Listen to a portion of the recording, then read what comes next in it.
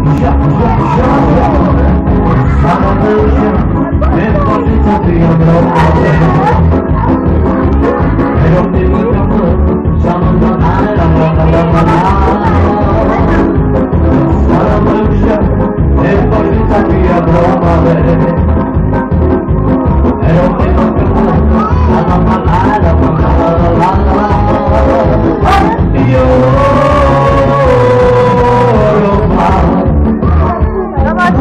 Los amos de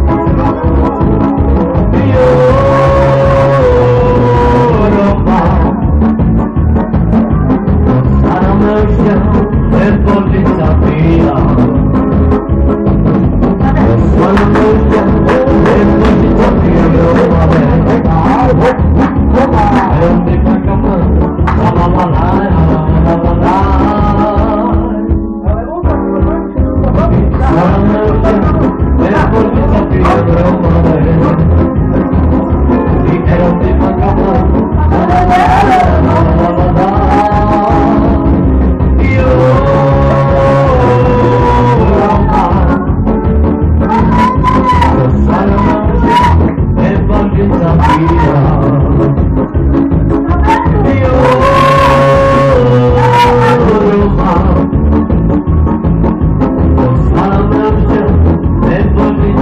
freedom.